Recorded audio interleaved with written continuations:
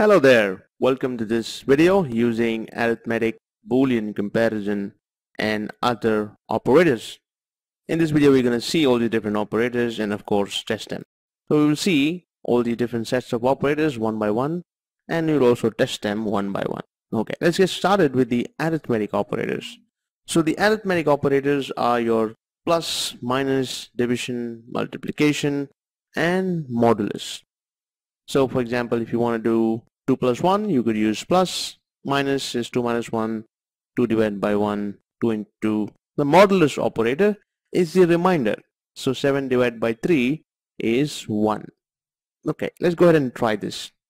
Make sure your board is connected to the computer and you have selected your port. Let's go ahead and do that. So my port is good to go.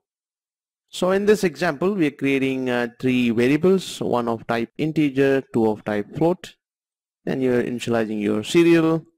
And then in the void loop you're actually writing a set of equations and printing the answers to the serial. Alright so you're saying that variable c equal to b minus a. So you're saying 10.7 minus 4 and then I'm printing the value to the serial. I'm delaying by 2 seconds. Then I'm changing the value of c to a into b. Then I'm printing it to the serial then I'm changing the value of C to 25 minus A into 45 plus A divided by 10. Then I'm printing that value to C. Perfect. Let's go ahead and try this. Go ahead and upload this code to the board. Alright, good to go. Open your serial monitor. And now you should see your answers. So 6.7 is correct. 42.80 is correct. And you have 9. So we should probably open the calculator and do this mathematics.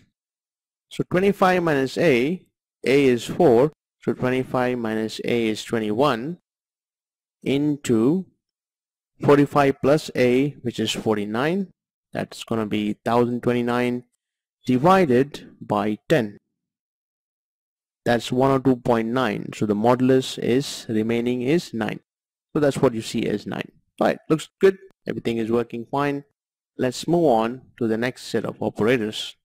The next set of operators we're going to see are called as the comparison operators. Now these are extremely important when you want to compare two values. So for example, when you want to compare the value of A to B, you're going to use equal to equal to. So you're going to say A equal to equal to B. That means I'm comparing the value of A to B and I'm checking if both are equal. So for example, if a equal to 5 and b equal to 8 then this condition will not satisfy. The next is not equal to. There are many cases when you want to check if they're not equal to each other. So you're gonna say a this symbol equal to b. That means this is checking for not equal to. So in this case 5 and 8 will satisfy this condition a not equal to b. You will also want to check less than greater than less than equal to and greater than equal to. let's take an example for less than equal to. So what does it mean by less than equal to? If you had 5 and 5 then 5 less than equal to 5 would satisfy because 5 and 5 one of them is equal to. Similarly 5 and 5 will satisfy greater than equal to because 5 and 5 will satisfy one part of the condition which is equal to. So there are many times you have to use these operators. Let's go and try a few of them. Let's try the not equal to comparator here. So in this we have a sensor variable and it's assigned to 7.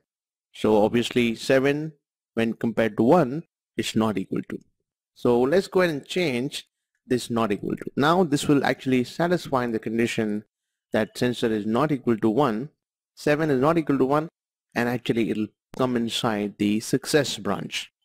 Let's go ahead and try this. Go ahead and compile it and open your serial monitor. Now you would see that pin is high. So it has entered the successful branch. Now let's try something else. Let's say you want to try greater than equal to. That means 7 is greater than equal to 1. Obviously that will satisfy. Let's try to change the value of sensor to 1. So that means 1 greater than equal to 1. That means it is going to satisfy one part of the equation that is equal to. Let's go ahead and try this. So this also should satisfy the condition. Open your serial monitor and there you go, pin is high. And now if you change this even to less than equal to 1, it will still satisfy because it still satisfy one part of the equation which is equal to. Let's go and try this again. There you go, pin is high. Perfect. Now you must be slightly more clear about the comparison operators. Perfect. Let's go take a look at the next set of operators. The next set of operators are called as the Boolean operators. Basically check and or you want to check either.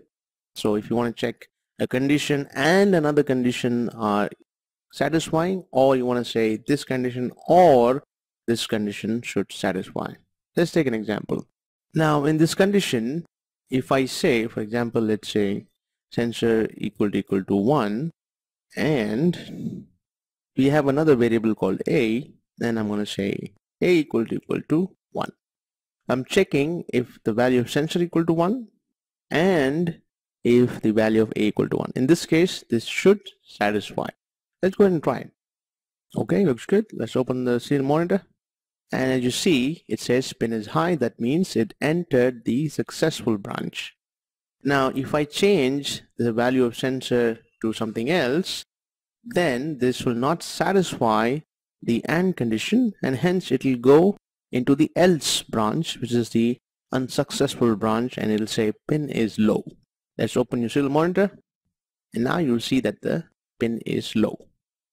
You can also try the other statement which is the OR statement in this case, this will satisfy the successful branch because you only need to satisfy either one of these conditions. In this case, A is equal to 1.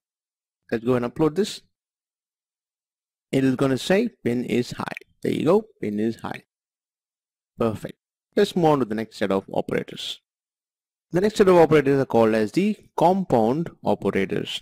Now this is going to be used when you want to increment a value or decrement a value by 1 or by some other number. So for that the syntax is i++. Plus This is popularly used in all the loops. And you can also use i minus minus. This is also popularly used in the loops. And you can also use i plus equal to 5 which is equal to i is equal to i plus 5. This is used to add the previous value with the current value. Similarly, you can do i minus equal to i divided by equal to i into equal to. Alright, let's go ahead and try this. So we have a for loop here which you've already seen. Now instead of actually saying i plus plus, let's try to change this whole equation to i minus minus. So if I do i minus minus, that means I have to count down. So in that case, first we have to start with 4 greater than equal to 0.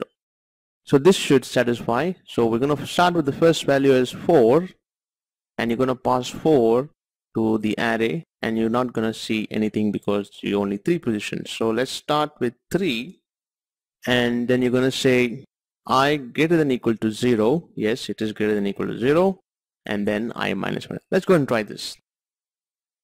There you go. So now it should first say India China Germany and then US and then it should say everything again. There you go so you converted an increment to a decrement operator. Perfect. Well with that, I hope you learned a bit about operators. In the next video, we're going to test some basic functions. Thank you.